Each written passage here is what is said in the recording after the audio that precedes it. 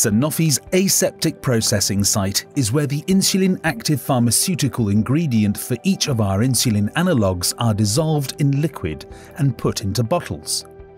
It is an area of high technology, automation and precision, fueled by decades of innovation, experience and investment to ensure that each batch of insulin is passed on to the next steps of the process at precisely the right concentration and specification. Welcome to the Fill and Finish uh, building. This is the place where we transform the active substance into a finished product ready to go to the market and to meet the patient needs.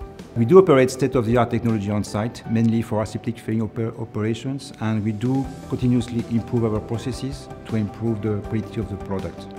Also, continuously, we do invest regularly in equipments, for example, in visual inspection equipments, in a way to provide the best quality of the product to the market.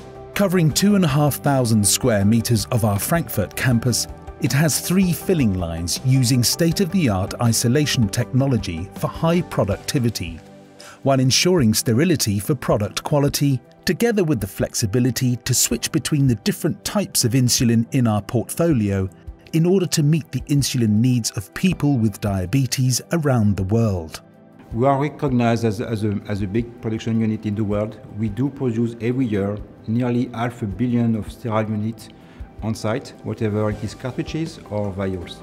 We do take care of our carbon footprint uh, evolutions by looking at the way we supply the product to the market, by ship or by plane. We continuously invest on monitoring the way we use the energy that we buy and also to try to, re to reduce the consumption of the energy, for example in the air treatment system and in the water system.